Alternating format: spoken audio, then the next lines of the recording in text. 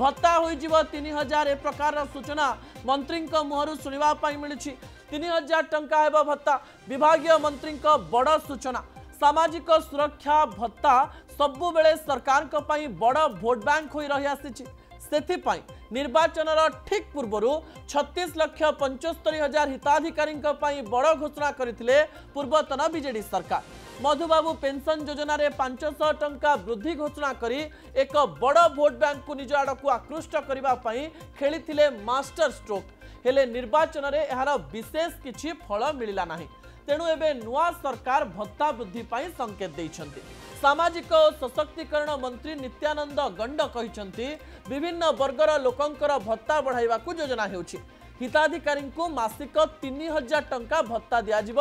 অর্থ বিভাগ সহ এথিপাই আলোচনা হেউছি খুব শীঘ্র ভত্তা বৃদ্ধি নেই ঘোষণা করা যাইপারে কিংবা বজেটরে কুহযাইপারে গোটিয়ে দিন আগপছ হয়ে শপথ গ্রহণ করে আন্ধ্রপ্রদেশ টিডিপি এবং ওড়িশার বিজেপি সরকার বড় কথা হচ্ছে গতকালি বিভিন্ন বর্গঙ্ক ভত্তা বৃদ্ধি করেছেন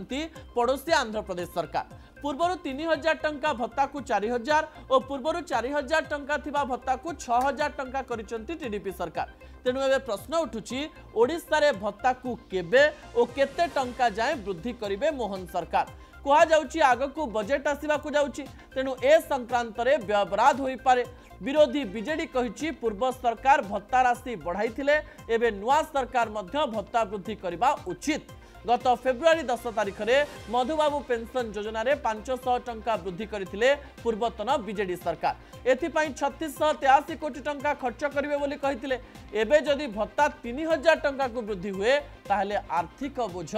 ଆହୁରି ବଢ଼ିଯିବାର ସମ୍ଭାବନା ରହିଛି ଦର୍ଶକ